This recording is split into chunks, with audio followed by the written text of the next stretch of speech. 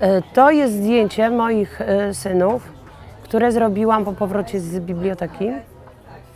To był taki dzień, że e, musieli zostać sami w domu i żeby się nie zajmowali przypadkiem zbyt długim siedzeniem przy komputerze.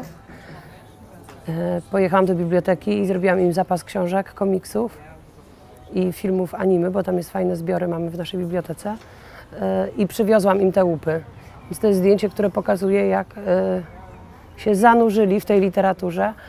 Siedzi na parapecie, nogi są na piecu takim elektrycznym. Bo to jest jego ulubione miejsce przez 8 miesięcy, kiedy trzeba się dogrzewać. I teraz ostatnio było już. e, bardzo był niezadowolony, zrobił aferę w domu, dlaczego piece są wyłączone gdzie on teraz będzie siedział. Mówimy, że Mikołaj za ciepło na włączone piece. Bardzo był niepocieszony.